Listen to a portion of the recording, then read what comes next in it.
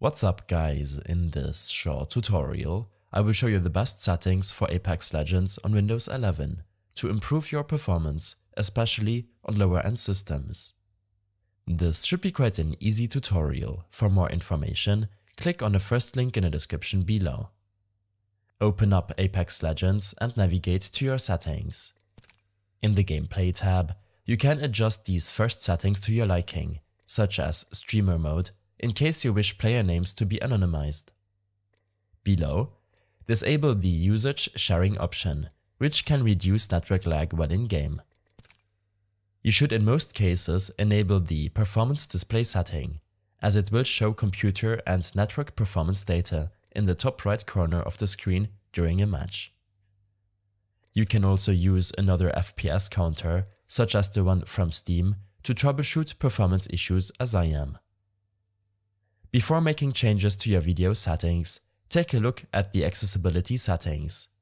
These can be optimized for colorblind users or those with poor eyesight.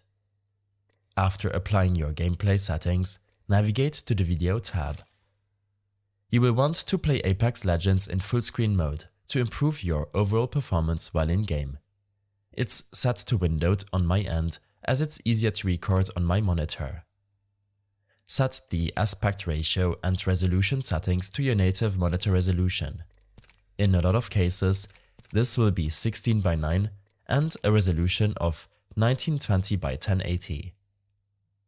In case you have performance issues after applying your video settings, you might want to reduce the resolution setting to 1600 by 900 for example. This will in any case improve your performance but the visual quality will in turn also reduce. The brightness setting will have no impact on your frame rate, as well as your field of view, FOV ability scaling, and the sprint view shake option.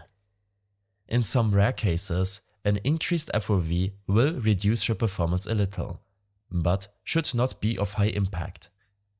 In my opinion, having the FOV ability scaling option enabled will make the game a bit more immersive. But I dislike the normal sprint view shake option as it's shaking a bit too much. In your advanced video settings, make sure to disable VSync if you have low FPS while in-game, as it will dramatically increase your input lag. For users with a high-end PC running the game at over 144 FPS, make sure to set this option to adaptive. This will make sure that the game locks the frame rate to your monitor's refresh rate while reducing screen tearing. For decent NVIDIA graphics card, make sure to enable the NVIDIA Reflex setting to reduce your latency while in-game. The Adaptive Resolution FPS target setting will make sure that the game tries to maintain the FPS target, in my case 100, while reducing the render resolution if needed when in-game. If the game is failing to maintain the target frame rate, then lower the resolution setting above. Adaptive supersampling will do the opposite. If you have some performance to spare while in-game, this setting will raise the render resolution. I prefer to disable this setting.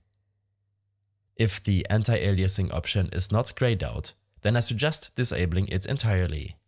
In some cases, this setting will make the game look very washed out and blurry when enabled. Below, set the texture streaming budget option to about two-thirds of your GPU's entire video RAM if you have no major applications running in the background while in-game. In my case, 6GB of VRAM is a decent value, but you might need to reduce it to 2 or 3. This will come down to how well the game is running on your system and how much VRAM you have to spare. If you don't care much about perfect image quality and more about the game's performance, then set the texture filtering option to bilinear, which will show less details when playing Apex Legends and will reduce the VRAM budget needed. For more details, set this option to anisotropic 2x or 4x. The same goes for the ambient occlusion quality, sun shadow coverage, sun shadow detail, spot shadow detail, volumetric lighting, dynamic spot shadows and the other detail options below. Personally, I prefer to lower the shadow and lighting settings to a minimum, and I still prefer to have my model detail setting set to high. Shadows are less important to me and can drastically reduce your GPU's performance, depending on your system. The model quality option will change your and others' characters' model quality for instance, which is more important to me. In your audio settings, adjust the master volume to an appropriate value. In my opinion, you should be able to reduce the intro sound of the game as it's always too loud. Below, optimize your voice chat settings by setting the incoming voice chat volume option to 100%. Your open mic record threshold option should only be set to a high value when using the open mic voice chat record mode. After applying your settings, you should notice an increase in performance. To get the most out of your system, make sure to follow my extensive guide linked in the description below. I hope this helped you out, leave a comment if you have any questions and see you in the next one.